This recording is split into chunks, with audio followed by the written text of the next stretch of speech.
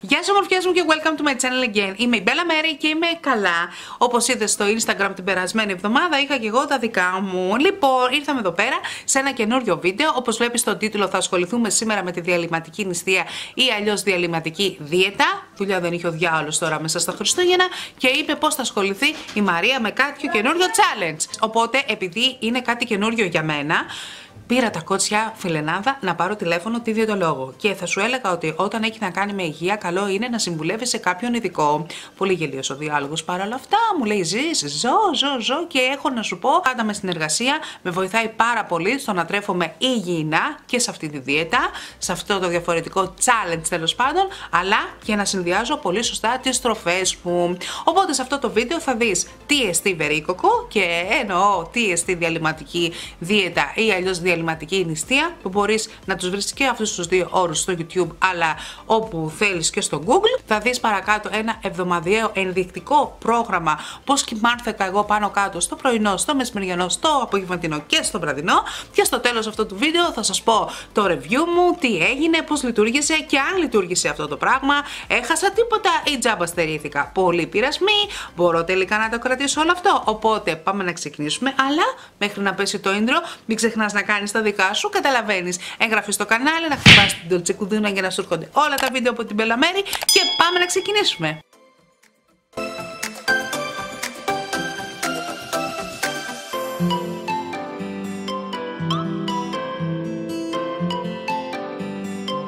Πάμε λοιπόν να δούμε τι είναι η διαλυματική δίαιτα και πώς λειτουργεί. Αρχικά έχω να σου πω ότι δεν είναι ακριβώς δίαιτα, είναι ένας τρόπος ζωής. Σε αυτή τη δίαιτα μας απαγορεύει να φάμε, αλλά όχι τι να φάμε.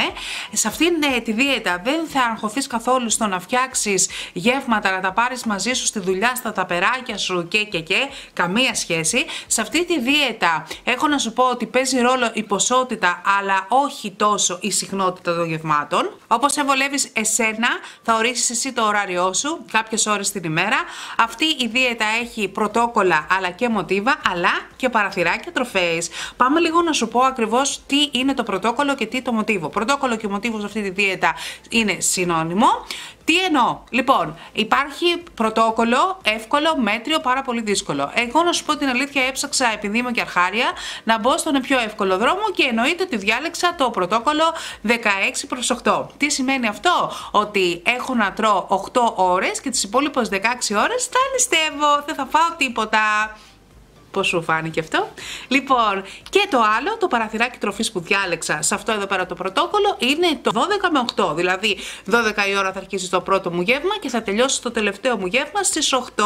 Όταν λοιπόν ακούς κάθε φορά σε αυτό εδώ πέρα το βίντεο το παραθυράκι τροφής, εννοώ το ωράριο που εσύ διαλέγεις για να ανοίξεις το στόμα σου. Αυτό όμως δεν σημαίνει ότι όταν θα ανοίξεις το στόμα σου για 8 ώρες θα κατανολώσει όλο τον ελίσποντο και όλο το βόσπορο μαζί. Όχι, γιατί κάπου εδώ πέρα ξεγελιούνται όλοι. Τρώω 8 ώρες το, το τρώω όπως θέλω, δεν έχω συχνότητα γευμάτων και την πατάω. Έτσι όμως καμία δίαιτα δεν έχει λειτουργήσει, κουκλίτσα μου. Τι γίνεται όμως όταν έρχεται 8 η ώρα και πρέπει να κλείσω το στόμα μου; Γιατί πρέπει να αφήσω 16 ώρες και να είμαι νηστική; Λοιπόν, όταν τελειώσω λοιπόν το γεύμα μου κατά τις 8 η ώρα, να σου πω ότι τότε πέφτουν τα επίπεδα ινσουλίνης. Τότε τι γίνεται, ο οργανισμός μας για να έχει πηγή ενέργειας τρώει ήδη από το αποθηκευμένο λίπος. Οπότε αυτό τι κάνει; Κάνει, κάνει αύξηση του μεταβολισμού και ξεκινάει η αυτοφαγία. Και αυτοφαγία τι σημαίνει, τα κύτταρά μας ανανεώνονται και σε αυτή τη φάση είναι τα πιο δυναμικά κύτταρα και τα άλλα,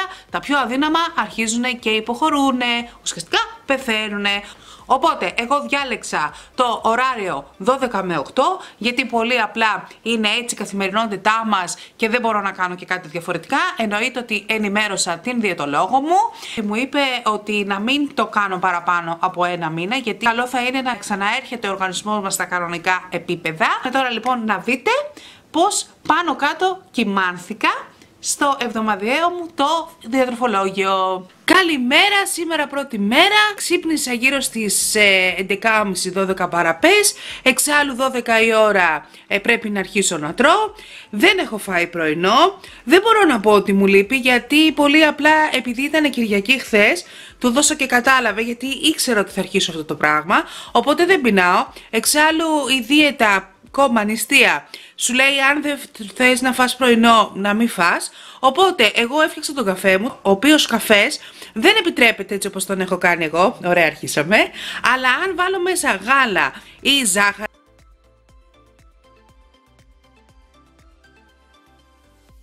και καλά σε αυτή τη δίαιτα, σε αυτή τη διατροφή θεωρείται ως γεύμα. Οπότε ουσιαστικά χάνεις το πρωινό σου και πίνεις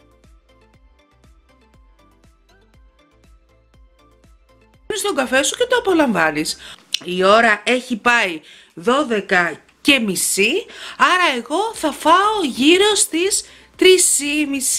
Οπότε θα τα πούμε πιο μετά στο μεσημεριανό. Λοιπόν, η ώρα έχει πάει 3 και 5 και η αλήθεια είναι ότι δεν πολύ πεινάω. Κανονικά μπορούσα να φάω και δυόμιση.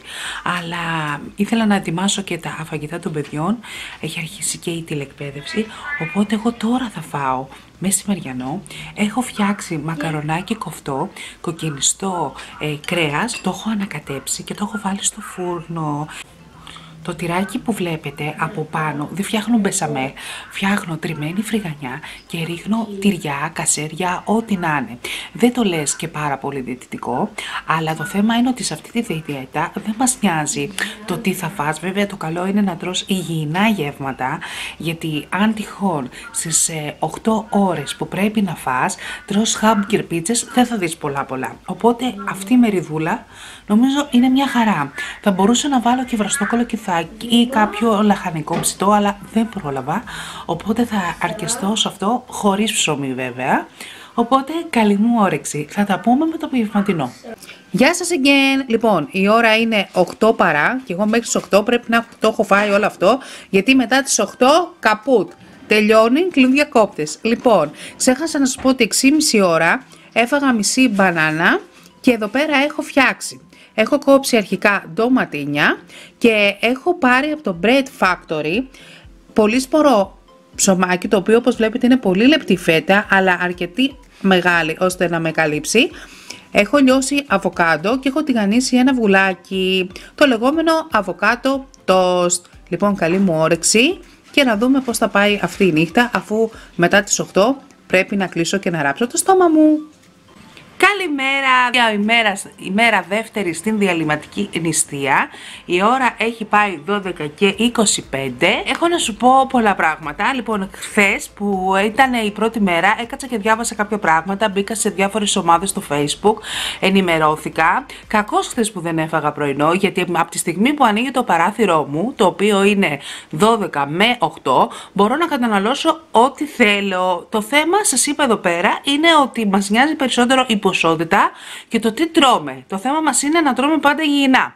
Οπότε κακώς έκανα που δεν έφαγα πρωινό. Οπότε σήμερα εγώ ως πρωινό της δεύτερης μέρας φρυγάνισα ψωμάκι και έχω βάλει καλοπούλα και κασέρι. Και έφτιαξα και ένα νες μέτριο μεγάλα με ζαχαρίνη. Κλασικά, έτσι τον πίνω εδώ και τρία χρόνια τον καφέ μου. Εννοείται η κούπα μου είναι πάντα σε χριστουγεννιάτικο mood, οπότε θα φάω τώρα, θα απολαύσω το πρωινό μου. Εγώ θα φάω γύρω στις 3 με 3,5 το μεσημεριανό μου. Έχει ήδη αρχίσει η τηλεκπαίδευση, η ώρα είναι 3 και 4 και εγώ τώρα θα σου δείξω τι θα φάω για μεσημέρι. Λοιπόν, έχω βράσει μπρόκολο και έχω βάλει τόνο σε νερό. Έχω βάλει μία κουταλιά σούπας λάδι και έχω βάλει και λεμονάκι, οπότε καλή μου όρεξη. Η ώρα έχει πάει 6. Λοιπόν, εγώ θα βγω τώρα να πάω ένα σούπερ μάρκετ. Έχω βαφτεί και λίγο έτσι για να νιώσω κάπως. Απογευματινό δεν θα φάω γιατί σκέφτηκα τώρα να πάω να πάρω ένα καπουτσίνο μέτριο με μπόλ και κανέλα. Οπότε θα φάω μόνο βραδινό πριν τις 8 γιατί μετά τις 8 χτυπάει καπανάκι. Οπότε σας αφήνω. Απλά σας ενημερώνω ότι θα πάρω το καπουτσινάκι μου. Οπότε πάμε και θα τα πούμε πιο μετά. Λοιπόν, εγώ μόλις ήρθα, η ώρα δυστυχώς έχει περάσει.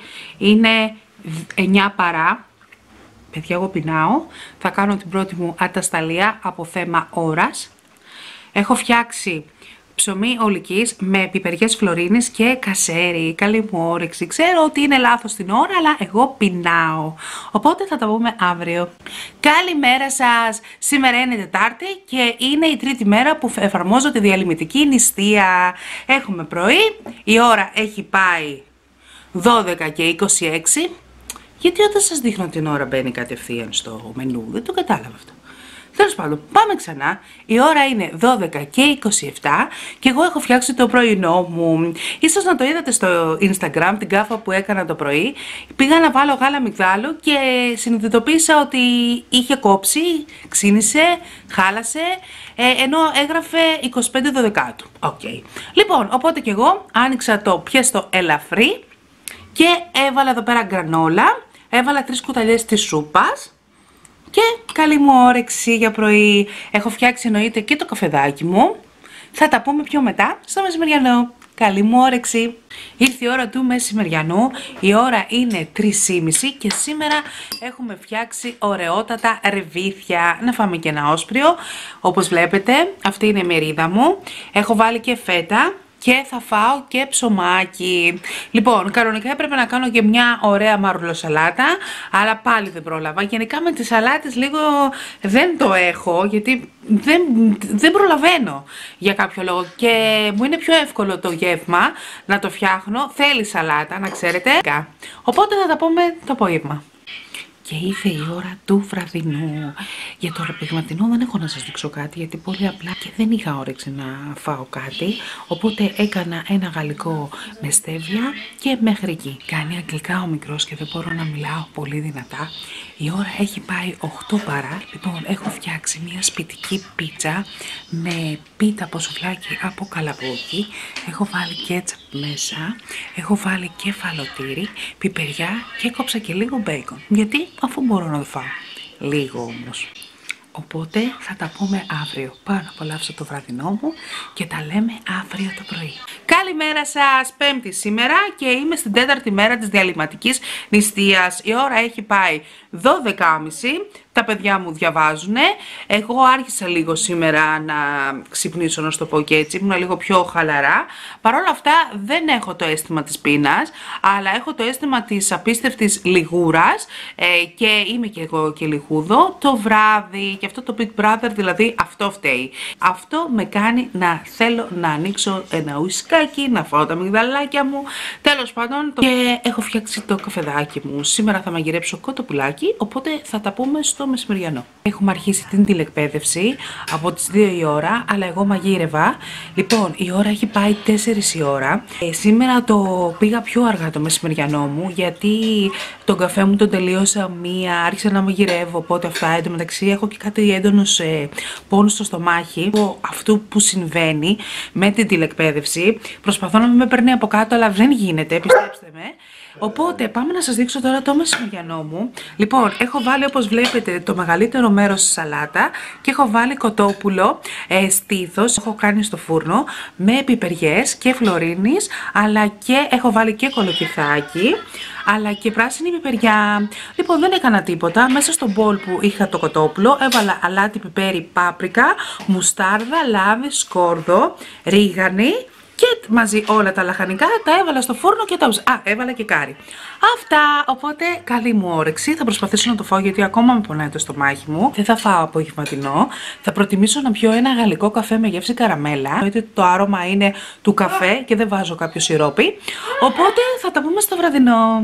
Η ώρα είναι 8, εγώ έκοψα και μαλλί φιλενάδα σήμερα, ανανεώθηκα, το ίσιοσα κιόλας. Λοιπόν, ήρθε η ώρα του βραδινού και εγώ αυτή τη φορά έχω διαλέξει να φάω γιαουρτάκι, βιταλά, είναι ροδάκινο, συνδυάζει και γιαούρτι και φρούτο, είναι με στέβια, το παίρνω από το καλοκαίρι, μου αρέσει πάρα πάρα πολύ, δεν χορταίνω με γιαούρτι, να τα λέμε και αυτά, αλλά επειδή έφαγα σήμερα κοτόπουλο, Θέλω να φάω γιαουρτάκι. Το απόγευμα όπως σας είπα απόλαυσα το γαλλικό μου τον καφέ. Οπότε θα τα πούμε αύριο, τελευταία μέρα.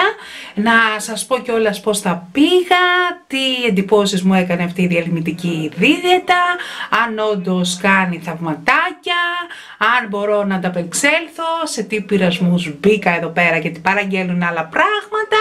Οπότε θα τα πούμε αύριο τελευταία μέρα. Καλημέρα, Παρασκευούλα σήμερα και η ώρα έχει πάει ήδη μία παρατέταρτο και εγώ να σου πω την αλήθεια έκανα τώρα το καφεδάκι μου. Καφεδούμπα. Όπως βλέπεις είναι μεγάλη κούπα, χριστουγεννιάτικη, να την απολαύσω.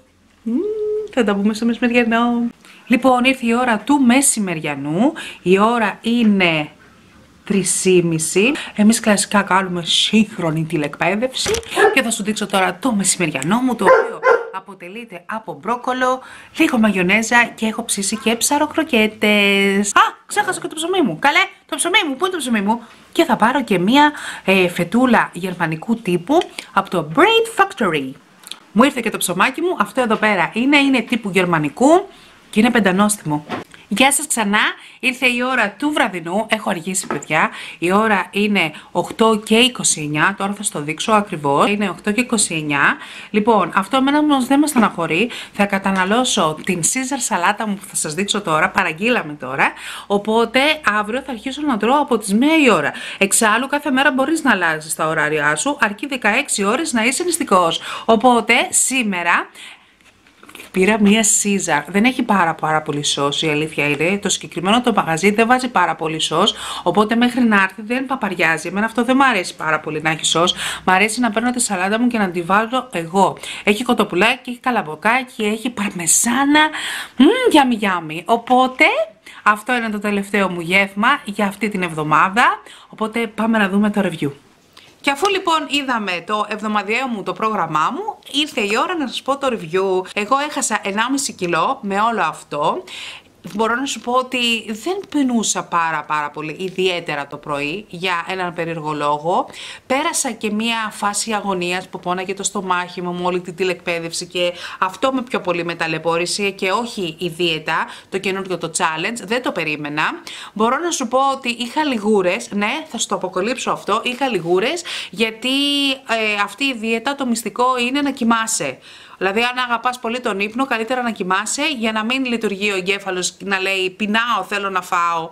Εγώ έβλεπα Big Brother το βράδυ και επειδή στην ε, παλιά μου ζωή τέλος πάντων έτρωγα τσιτζιμπλίκια, λίγο σοκολατίτσα, λίγο απατατάκια, λίγο από εδώ. Ε, εντάξει, όταν έχεις συνηθίσει ο οργανισμός σου να τρώει αειδιούλες, είναι πάρα πολύ λογικό. Αυτό. Κατά τα άλλα, μπορώ να σου πω ότι εγώ θα το κάνω ένα μήνα θα αντέξω, ίσως να αλλάξω λίγο τα ωράρια μου, δηλαδή μπορεί να τελειώνει και το τελευταίο μου γεύμα 10 η ώρα, αλλά όσο πιο αργά τελειώνει, τόσο πιο αργά ξεκινάει. Έτσι είναι αυτά. Οπότε αυτή ήταν η διαλυματική δίαιτα ή αλλιώς νηστεία. Αυτή ήταν η εμπειρία μου. Αν θέλετε να με ρωτήσετε από κάτω ό,τι ό,τι θέλετε μπορείτε να με ρωτήσετε και εννοείται ότι θα σας απαντήσω. Δεν ξέρω πώς σας φάνηκε όλο αυτό. Εμένα είναι τρομερό challenge που μπήκα πάλι σε αυτή τη διαδικασία να κάνω κάτι για μένα. Αν σου άρεσε λοιπόν κάνε ένα like στο βίντεο, μην ξεχνάς να κάνεις εγγραφή στο κανάλι μου και να με ακολουθείς και στα social media. Μέχρι το επόμενο βίντεο να περνάτε super duper. Φιλάκια πολλά!